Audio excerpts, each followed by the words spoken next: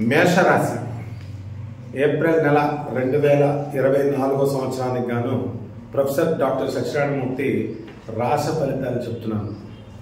ఈ మేషరాశి వారికి మనకి ఏప్రిల్ నెల ఇరవై రెండవ తేదీ వరకు జన్మరాశిలో గురుడు ఉంటాడు. ఆ తర్వాత మనకి ధనస్థానంలోకి ప్రవేశిస్తాడు.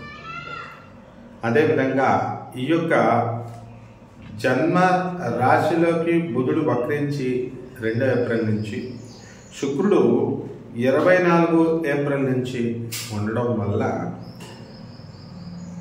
వృత్తి వ్యాపార ఉద్యోగ విషయాలలో వీళ్ళకి మధ్యమంగా ఉంటుంది. కాబట్టి ప్రమోషన్స్ అనేటటువంటివి రావు కానీ చేస్తున్నటువంటి వృత్తి వ్యాపార ఉద్యోగ విషయాల్లో లాభాలు రావడం జరుగుతుంది.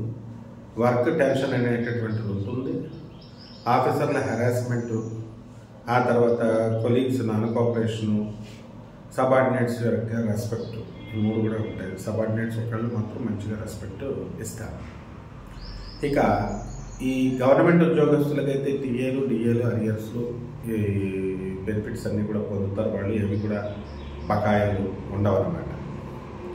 ఇక ఈ యొక్క ప్రైవేట్ ఉద్యోగస్తులకి ఈ మేష రాశి వాళ్ళకి ప్రమోషన్స్ ఉండవు కానీ ఎదుగుదల సమ్ సార్ట్ ఆఫ్ గ్రోత్ అనేది ప్రైవేట్ యాజమాన్యాలు చూపిస్తాయి.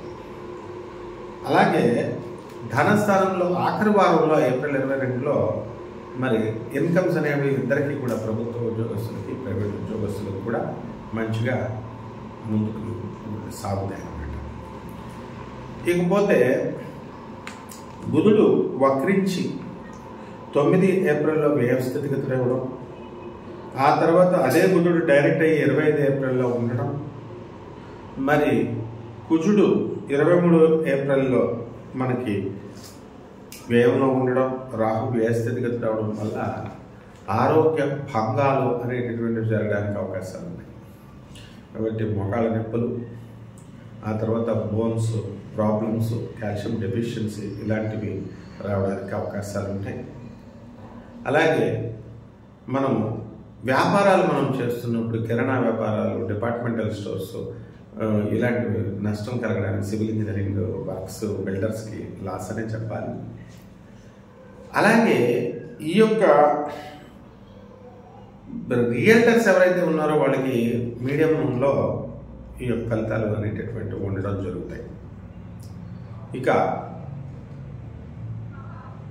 లాభంలో ఉన్నటువంటి శని ప్రభావం వలన మార్కెటింగ్ ఏజెంట్స్ వీళ్ళందరికీ కూడా బాగుంటుంది. ఎంత తిరిగితే అంత లాభము అనేటటువంటిది వీళ్ళకి రావడం జరుగుతుంది. ఆరో ఇంట్లో ఉన్నటువంటి కేతు ప్రభావం వలన శత్రువులు మిత్రులుగా మారడం ఆ తర్వాత విదేశీ సంబంధమైనటువంటి వ్యవహారాలు విదేశాల్లో నేను వ్యాపారాలు చేయాలి అనేటటువంటి ఆలోచన ప్రబలంగా బలంగా అవ్వడం విదేశాలకు వెళ్ళడం ఇవన్నీ జరుగుతాయి.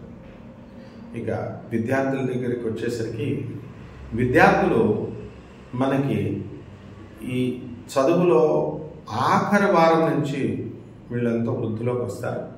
మొదటి మూడు వారాలు కూడా చాలా జాగ్రత్తగా చదువుకోవాల్సినటువంటి అవసరం ఉంది వీళ్ళకి. అలాగే వివాహ ప్రయత్నాలు ఎవరైతే చేస్తున్నారో అటువంటి వాళ్ళకి వివాహాలు కూర్చుకొని పెట్టుకోవాలి. వివాహానికి అంత అనుకూలమైనటువంటి సమయము ఈ సమయం కాదు. తర్వాత మనకి ఈ యొక్క శుక్రమూఢాలు గురు మూఢాలు ఇవన్నీ కూడా మనకి జూలై నెల వరకు కంటిన్యూస్గా ఏప్రిల్ నెల నుంచి మనకి వస్తున్నాయి. కాబట్టి వివాహాలు అయ్యేటటువంటి ప్రసక్తి లేదు. సంబంధాలు పూర్చుకొని పెట్టుకోండి. ఇక రైతుల దగ్గరికి వచ్చేసరికి రైతులు మనకి చక్కగా వ్యవసాయం చేస్తారు. మంచి పంటలను పండించారు మంచి లాభాలను ఆర్జించారు. కానీ ఎంత సంపాదించినప్పటికీ కూడా వీళ్ళ యొక్క అప్పుల్ని వీళ్ళు తీర్చుకోలేకపోతారు. కాబట్టి భూముల్ని అమ్ముకోవాలి అనేటటువంటి ఆలోచన వీరికి ఈ నెలలో వస్తుంది. అలాగే ఇల్లు అమ్మాలి తమ పేరు మీద ఉన్నటువంటి ఇల్లు అమ్మాలి అనేటటువంటి ఆలోచన వస్తే మరి ఇతర గురువులు అవనియండి లేకపోతే వాళ్ళ శ్రేయోభిలాషులు అవనియండి అమ్మద్దు మళ్ళీ నువ్వు కొనుక్కోలేవు అనేటటువంటి సలహాలతో వారు కొంతకాలం ఆగిపోవడం అనేటటువంటిది జరుగుతుంది. అలాగే వాళ్ళ పేరు మీద ఉన్నటువంటి స్థలాలు ఏవైతే ఉన్నాయో అవి రేట్లు కూడా అంతగా పలకవు. సో ధైర్యం సన్నగిలుతుంది ఈ యొక్క నెలలో. కాబట్టి మనము ఎవరైతే మహిళలు ఉన్నారో మరి ఈ మహిళలు వాళ్ళకి మమ్మల్ని కుటుంబ సభ్యులు గుర్తించట్లేదండి. మేము వేరే చోట ఉద్యోగాలు చేస్తున్నాం కొంచెం ఇబ్బంది అవుతుంది. రోజు ట్రావెలింగ్ ఇల్లు వేరే చోట జాబ్ వేరే చోట అనేటటువంటి వాళ్ళకి తటస్థంగా ఉంటుంది అనమాట వాళ్ళకి అటు పూర్తిగా కుటుంబ సభ్యులు గుర్తించడం కానీ ప్రభుత్వం గుర్తించడం కానీ ఉండదు. మీ కష్టాలు మీకు ఉంటాయి. కానీ ఇదివరకటి కంటే కూడా ఈ నెలలో కొంచెం ఫార్ బెటర్గా అనిపిస్తూ ఉంటుంది అనమాట సో ఇన్కమ్ ట్యాక్స్ ఈ commercial tax revenue department and municipal డిపార్ట్మెంట్లో ఉన్నటువంటి వాళ్ళందరికీ కూడా వీళ్ళకి అదనపు ఆదాయాలు రావడానికి అవకాశాలు ఉంటాయి. పోలీస్ డిపార్ట్మెంట్ సెక్యూరిటీ వీళ్ళకి లాంగ్ లీవ్లు ఆర్మీలో ఉన్నటువంటి వాళ్ళకి లీవ్లు ఇవ్వడం కొంచెం వర్క్ ఛాలెంజింగ్గా ఉండడం అనేటటువంటిది జరుగుతుంది. ఇక రెమెడీస్ దగ్గరికి వచ్చేసరికి ఈ యొక్క రాశి వారికి బుధ జపం చేసుకోవాలా? బుధ స్తోత్ర చదువుకోవాలా? బుధుడికి కిలో పావు పెసల్ని ఆకుపచ్చ రంగు ఉన్నటువంటి వస్త్రాన్ని ఇచ్చి మనము బుధవారం నాడు పేద బ్రాహ్మణికి దానం చేయాలి ఉదయం ఐదు గంటలకి. అలాగే విష్ణు సహస్రం కానీ విష్ణు అష్టోత్తరం కానీ ఈ యొక్క మంత్ర జపం వల్ల ఓం నమో నారాయణ అనేటటువంటి మంత్ర జపం వల్ల కొంత నెగిటివిటీ అనేటటువంటిది వీళ్ళ జాతకాల్లో ఈ నెలలో పోతుందన్నమాట. శుభమస్తు!